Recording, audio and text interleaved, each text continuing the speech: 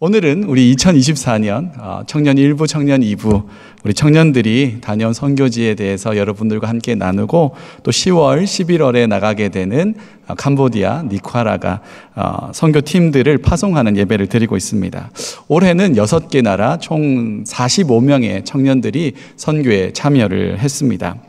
우리 청년들의 그 선교는 특징이 하나가 있는데 청년들이 선교에 대한 열정이 대단하다는 것과 또 주도적으로 선교를 동원하고 또 참여하고 후원한다는 것에 있습니다. 아, 이런 선교에 대한 열정과 관심은 우리 교회가 가지고 있는 이 선교적인 체질과 또 앞서 선교의 본을 보여주신 신앙의 선배들이 있기 때문이라고 생각합니다. 이 청년들의 선교는 당해 연도가 아니라 그 전해부터 시작이 됩니다.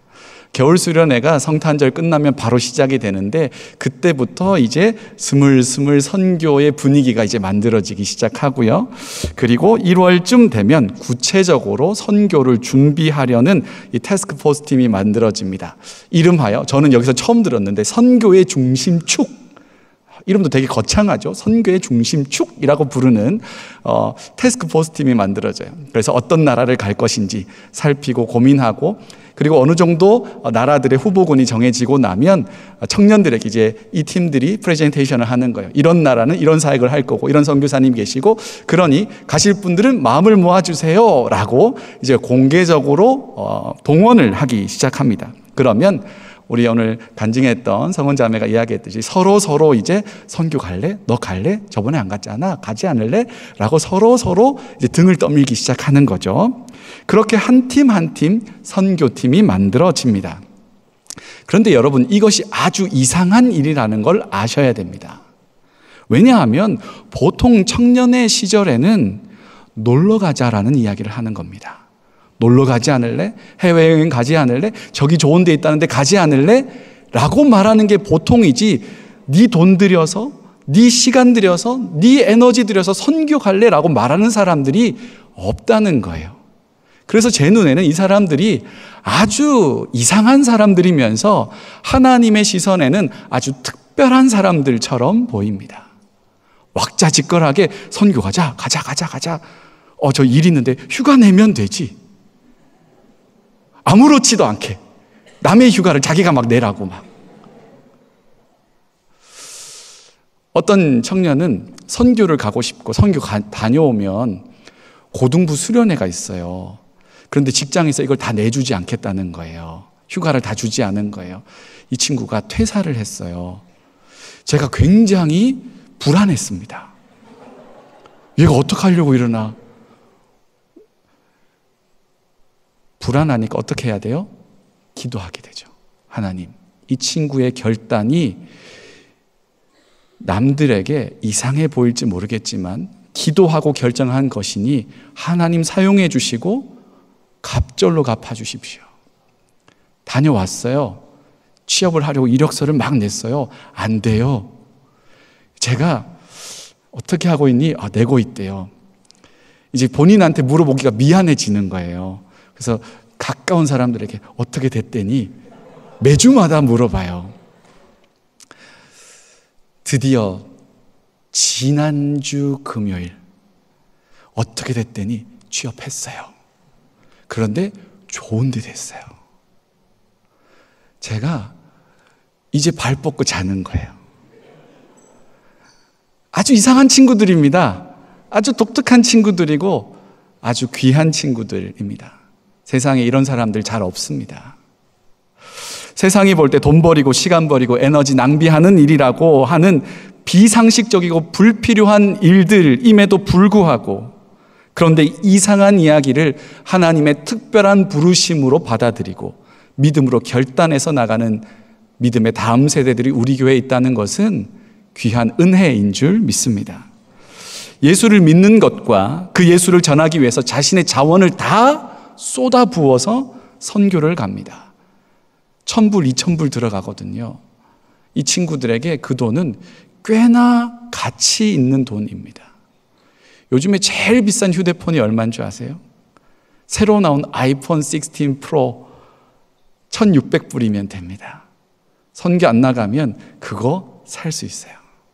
아이패드 프로 살 수 있어요.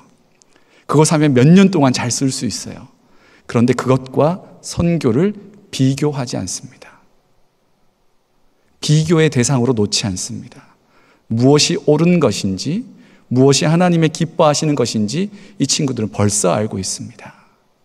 그렇게 선교를 가는 거죠. 그렇게 팀이 구성되고 열심히 준비하면 여러분들에게 수요 예배 때 올 봄에 했지 않습니까? 우리 성교 나갑니다! 해가지고 특송도 하고 이 체육관에 이 그 주일 예배 때 특송도 하고 체육관에 여러 가지 부스를 만들어서 각 나라를 홍보하기 시작합니다. 여러분들이 진짜 많이 기도해 주셨고, 진짜 많이 도와주셔 가지고 아주 잘 다녀왔습니다. 이 각 성경 그 선교팀들은 보통 청년들이 할 수 있는 일들을 많이 하게 됩니다. VBS라고 하는 방학 때 하는 여름 성경학교 같은 것들을 각 선교지에서 진행을 하는 거죠. 그리고 각 팀별로 독특한 사역들을 하기도 합니다. 이 올해 멕시코 팀 같은 경우에는 오늘 경배 찬양을 이렇게 인도했지 않습니까? 청년 그 청년부 안에 찬양하는 친구들이 요 멕시코 팀에 많이 지원을 했어요. 그래서 멕시코 선교지와 같이 이야기를 나누다가 어 그렇다면 멕시코 현지에 있는 찬양팀하고 같이 세미나를 해보자. 어떻게 하면 더 좋은 찬양, 더 좋은 콘티를 가지고 예배할 수 있을지를 고민해 보자 하면서 그곳에 있는 찬양 팀과 같이 세미나를 하기도 하고요. 거리에 나가서 노방 찬양을 하기도 하고요. 그런 일들을 멕시코 팀이 잘 했고요. 또 온두라스 팀 같은 경우에는 이 VBS를 하면서도 그 나라가 축구를 좋아하니까 축구 선교를 해달라고 한 거예요. 그래서 여러분들에게 축구 용품을 좀 가져다 주시면 좋겠습니다 라고 했는데 짐을 다 실지 못할 만큼 여러분 많이 갖다 주셨습니다. 이 축구하는 전날 제가 약간 걱정이 됐어요. 어떤 걱정이 됐냐면 이걸 이겨야 돼 말아야 돼 라는 생각이 좀 들었습니다. 성교 굳이 성교 나가서 꼭 이겨야 할까? 그래서 경기 당일날 아, 어떻게 기도하지? 우리 친구들이랑 막 기도하면서 하나님의 뜻이 이루어지게 해주시고 다치지 않게 도와주시고 어떤 결과든지 간에 선교에 도움될 수 있게 해달라고 기도를 했어요. 경기를 하고 나서 이제 제가 물어봤습니다. 이겼니, 졌니? 그러니 졌다는 거예요. 아우, 잘했다. 근데 이 친구들이 승부욕이 발동돼서 한 판 더 하자 했다는 거예요. 그래, 어떻게 됐을까요?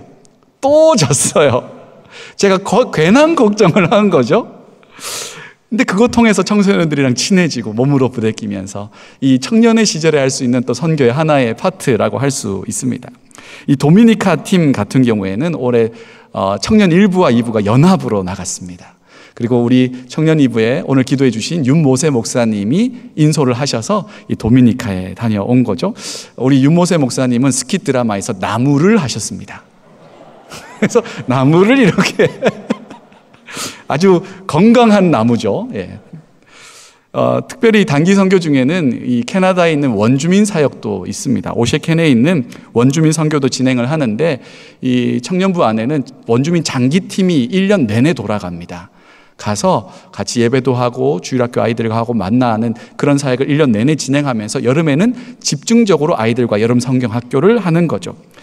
계속 장기팀과 단기팀이 같이 이 번갈아 가면서 사역을 하면서 관계성들이 생겨나가기 시작합니다. 닫혔던 마음의 문도 열리고 서로 다가와서 이야기하기도 하고 어, 좋은 사역들이 단기 때 모였던 응집력이 이 장기팀을 통해서 또 세부적으로 교회의 선교에 동참되기도 하는 아주 참 귀한 사역이라고 생각됩니다. 이렇게 한 팀 한팀 보낼 때마다 출발하는 날부터 돌아오는 날까지 청년들은 온라인 상에서 기도회를 진행을 합니다. 한 30분 정도 모여서 진행을 하는데 그날 있었던 사역이나 다음에 있을 사역들 그리고 그 어, 몸에 아프거나 문제가 있다면 그런 거 가지고 세부적으로 이렇게 막 기도하는 온라인 기도회를 진행을 합니다. 어느 한 팀은 사역을 하고 숙소로 돌아왔는데 비가 너무 많이 와서 정전이 되었어요. 얼마나 습하고 더웠겠습니까? 피곤을 풀고 내일의 사역을 준비해야 할 텐데 그런 밤이 되어야 하는데 습하고 피로가 쌓이고 감정도 좀 어려워지는 그런 상황이 되었다고 해요. 이 팀장에게서 연락이 왔어요. 이 잠깐 캡처를 조금 했는데 이런 내용입니다. 목사님, 이러이러한 상황인데 정전이 돼가지고 선풍기가 안 돌아갑니다. 기도해 주세요. 그러는 거예요. 점점 어두워져 가고 있는데 사역 마치고 숙소에 왔을 때 선풍기 바람을 쐬고 싶어요. 이렇게 구체적이고 유치하고 확실한 기도 제목이 어디 있겠어요? 사역 마치고 돌아왔는데 정전돼 가지고 선풍기 안 돌아가면 너무 힘들 것 같아요, 목사님이라고 한 거죠. 그래서 그 어, 기도를 한 8시에 한 중반쯤 받았습니다. 그래서 온라인 기도 9시부터 시작하는 온라인 기도 때 열심히 막 기도를 했어요. 그래 가지고는 9시 반에 제가 마치자마자 어떻게 됐니? 그랬더니 선풍기 돌아갑니다. 감사 감사라고 이제 보냈죠. 재밌는 이야기인데 그런데 기도한 사람들은요, 이것을 응답이라고 고백합니다. 기도한 사람만이 하나님의 응답을 경험합니다. 단기 선교는 이렇게 구체적으로 하나님의 신실하신 역사를 경험할 수 있는 장입니다. 이 청년 담당 목회자로서 청년들이 단기 선교를 간다는 것은 선교와 함께 이 한 사람 한 사람의 신앙에 참 좋은 훈련이 된다는 걸 잘 알고 있습니다. 세상이 미련하다고 생각하는 시간과 물질과 에너지를 하나님의 나라와 의를 위해서 헌신하는 것을 배우게 되고 하나님께서 구체적이고 실제적으로 이들의 사역 가운데 역사하시는 것을 경험할 수 있기 때문입니다. 그래서 청년들에게 단기 선교는 아주 특별한 상황과 환경 그리고 하나님이 주도하시고 역사하시는 그 현장 가운데로 초대받는 것입니다. 선교지는 실시간으로 상황이 많이 바뀝니다. 오늘 계획했던 사역들을 못할 수도 있고요. 계획되지 않았던 사역을 갑자기 해야 될 수도 있죠. 그때마다 선교팀은 무엇을 하냐면 기도합니다. 하나님 이거 잘 감당할 수 있게 해주시고 이거는 잘 내려놓게 해주시고 그렇게 하나님의 뜻을 구하고 기도하며 선, 선교사님의 안내에 순종하는 법을 배웁니다. 일상을 살 때는 일주일 살아가면서 하나님의 구체적인 역사들을 잘 느끼지 못하던 청년들이 선교지에 가면 특정한 상황 가운데 놓여서 오로지 사역에 집중하다 보니 하나님이 세밀하게 다가오시고 역사하시는 것을 꽤나 직관적으로 경험하게 됩니다. 그래서 선교팀이 출발하기 전에 이렇게 이야기를 해줘요. 현장에서 만나는 그 하나님, 세밀하고도 친절하고도 확실하게 다가오는 그 하나님을 느끼는 그 감각을 선교 마치고도 유지할 수 있다면 그건 진짜로 큰 유익이니까 선교지에서 그 감각을 잃어버리지 말고 일상으로 돌아와서 그거 감각 일깨워가며 살아가라고 이야기합니다. 여기 그렇게 선교를 다녀온 지체들이 있습니다. 그리고 또 출발하게 될 지체들도 있습니다. 이 캄보디아와 니카라가는 우리 교회 다양한 세대들이 가서 선교하는 곳이죠. 청년들은 그곳에서 청년들이 할 수 있는 일들을 또 하게 될 겁니다. 우리 캄보디아 팀은 10월 어, 11일 날 나가게 되는데 어, 인원이 3명이지 않습니까? 아, 이분들은 곱하기 10을 해야 돼요. 왜냐하면 에이스 중에 에이스. 그리고 가서 현지 스탭들과 팀을 이룹니다. 각 팀을 이루어서 각자가 맡은 그 과목들을 가지고 이제 가르치고 또 경연하고 하는 일들을 하게 됩니다. 이미 줌을 통해서 현지에 있는 스탭들과 계속 긴밀하게 팀 모임을 하고 있어요. 근데 선교사님이 어, 너무 좋으셨던 것 같아요. 세명 가는데 한 30명 가는 것처럼 사역을 일정을 짜 놓으셨어요. 그래서 제가 팀장한테 이야기했습니다. 너희들 쉴 시간은 있니? 제가 걱정될 정도로 일정을 아침, 점심, 저녁까지 빡빡하게 짜 놓으셨더라고요. 우리 니카라가 팀은 가서 학교 사역 많이 하게 될 텐데 음악, 체육, 또 다양한 영어 수업들을 진행을 하게 될 겁니다. 어, 저도 이 팀에 동참해서 찾아 참여하게 될 텐데 저는 음악 수업 맡았고요. 또 학교 전체에서 영어로 말하기 대회를 준비하는데 이게 아주 그 친구들에게 동기부여가 많이 된대요. 선교사님이 영어로 이 세대들이 좀 자라나는 것을 보고 싶어 하시거든요. 그래서 영어로 성경 인물에 대한 어, 것들을 주제를 주고 이 친구들이 준비해서 영어 말하기 대회를 하면 우리 팀들이 이제 심사위원이 돼서 어, 누가 누가 잘하나 이렇게 하면서 어, 학습 효과를 좀 부추기는 일들을 하게 되죠. 이제 남아있는 두 팀이 있거든요. 다 끝난 게 아니기 때문에 여러분의 또 기도와 관심과 또 마음 모아주시는 일들이 필요합니다. 꼭 부탁드리고요. 오늘 본문은 가나 혼인 잔치의 대목입니다. 이 가나 혼인 잔치에서 가장 큰 역사를 경험한 사람, 하나님의 가장 큰 역사를 경험한 사람은 연회장도 아니고 신랑, 신부도 아니고 그 자리에 있었던 손님도 아니고 예수님의 어머니 마리아도 아닙니다. 누가 가장 큰 하나님의 역사를 경험했을까요? 바로 물떠온 하인들입니다. 물을 떠서 가져다 주라는 예수님의 말도 안 되는 이야기에 순종하여 가져다 주었을 때 물이 포도주가 되는 그 역사를 실시간으로 경험했기 때문에 그렇습니다.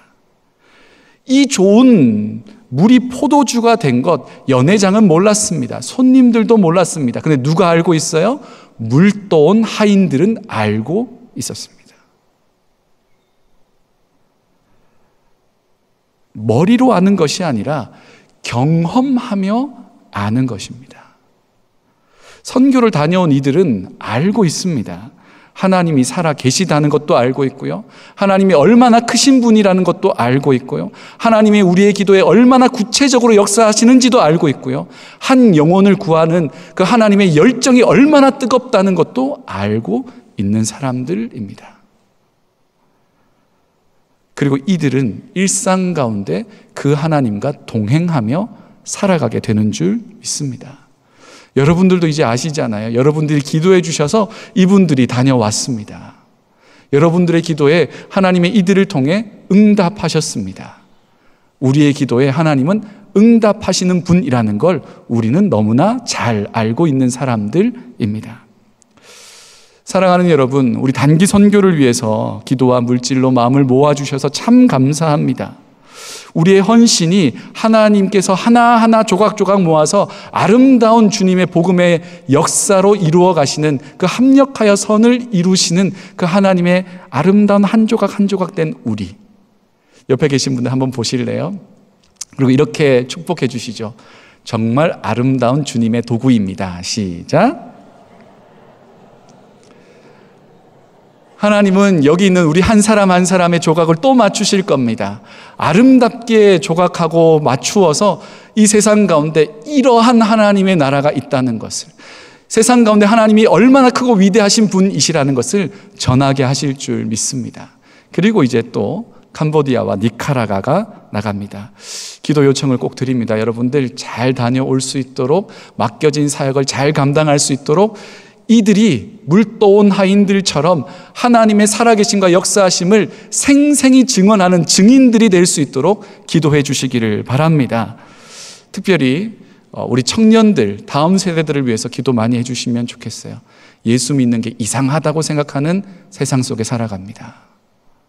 그런데 이 친구들은 그 예수를 포기한 적도 없고 포기할 마음도 없는 사람들입니다.